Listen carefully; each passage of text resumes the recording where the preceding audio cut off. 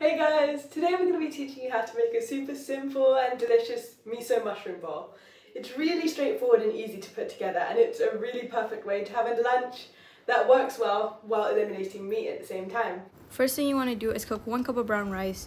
If you don't have brown rice at home, please do not drag your parents to the grocery store. You can literally use any other rice, it does not matter. But if you do choose to use brown rice, make sure to add a little bit more water than you normally do and add a pinch of salt for like the seasoning and then mix it all together and let that sit for a while. If you have a rice cooker, use that, it's way easier, but if you don't, just use a pot like we did.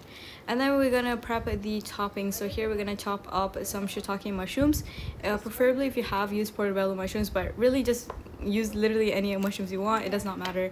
Um, it's your dish, you're gonna eat it anyways. So then you're gonna saute your mushrooms in a pan filled with olive oil on low heat and then you're gonna stir it all together and let that sit for a while. We also added some garlic cloves and a pinch of salt to add some flavor. Here's a, another angle of our mushrooms. And then while that cooks a bit more, you're gonna prep the veggies. So we're slicing the carrot into three sections and then you're gonna cut it up into these matchstick sizes and then that way you like get the crunchiness of the carrot still. Um, you could also grate this but then you're missing out on the texture of it all. And then yeah check up on your mushrooms. And make sure to take it off the heat before it looks like that. Ours is just a little bit more colored but like no worries. You can still eat it. And then check up on your rice. If you need more water add some more water. And then just like let that uh, fully cook going back to the veggies you're going to take out the edamame from the um, boiling water and then you're just going to take out the beans and then you're going to grate your cucumber. For this step we actually recommend um, to cut it up like the carrot because then you're maintaining the crunchiness of it still because when you grate it it became like all mushy and stuff which is kind of expected but like we didn't really pay attention but yeah um, unless you like mushy cucumber then go for it i guess but um, then you're gonna slice one small cabbage into half and then you were only using like a quarter of it.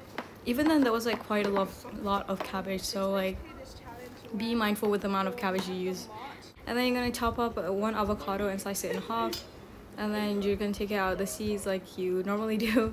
And then like instead of scooping it out with a spoon um, peeling it off gets like allows you to have more of the inside of it of the avocado. So yeah do that. And then you can just scrape off the extra stuff that you don't want. And just cut it up thinly and beautifully and then do this whoosh motion. I mean like how cool is that? That looks like so professional like you're basically a master chef. And then for the dressing you're gonna add one fourth cup of olive oil you're gonna add three tablespoons of sesame oil and then you're gonna add two tablespoons of miso. For this miso you can also make like other dishes such as um, miso soup and like other dishes. Um, then you're gonna add three tablespoons of rice vinegar and then you're gonna chop up one small garlic clove.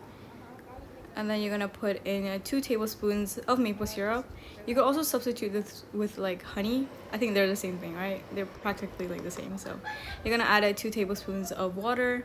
And then you're gonna chop up some ginger as well. And then you're gonna add a pinch of salt and a pinch of cayenne pepper. And then you're done. Super easy right yes. And then you're gonna blend it all together. And oh yeah make sure to put it in a bigger blender and don't fill it to the brim like we did. We tried to make it work but clearly that did not happen. But no worries. You just take it out and then just put it in a bigger blender.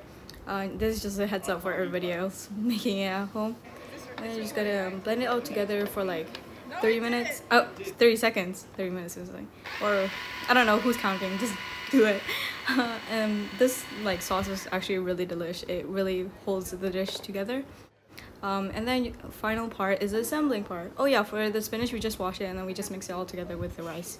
And then you're gonna add the cabbage the cucumber and then the carrot as well as the edamame on top. And it's just like make it as pretty as you can. And then last but not least the mushrooms doesn't it look like actually so professional? Like it looks so good. Oh yeah and your avocado don't forget that. You made it so perfectly. And you're done. You're just gonna sprinkle up some uh, sesame seeds and then drizzle up some of the dressing and then that's it. Super easy meal that you can make. And the serving is for four people. And yeah i hope you enjoyed this video and thanks for watching. Bye